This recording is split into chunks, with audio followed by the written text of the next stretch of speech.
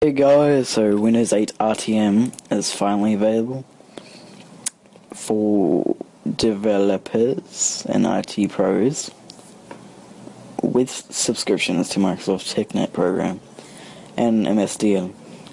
Also, you will be able to try it. There is a, let's check it here, a 90 day evaluation, and you also need to download some new net framework. But let's talk about what's new in it. So more customization options for the start screen. That is what it, this was lacking very much. That looks pretty. I really I should get it actually. So last time we took a look at Windows 8, Microsoft had added more color themes for the start screen. Now that you can add one of 14 personalization tattoos, pattern backgrounds, and borders that line that start screen. It's pretty cool. As you can see, some options are more suitable than others. Others, they know those multicolored birds and dangling flowers are just for show. Okay, guys. Pretty cool, I suppose. No more Aero. No surprise here, Microsoft announced all the way back in May that the desktop will no longer have the Aero it's been rocking since Vista. And indeed, the desktop here in RTM has a more flattened look. See the open window in the. Oh screenshot up there, for example, what we're talking about.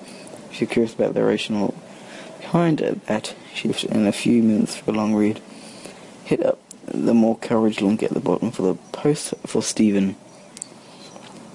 So yeah, I believe I have the Aero, yeah, on this Windows 8 version, but that looks stupid. Stupid.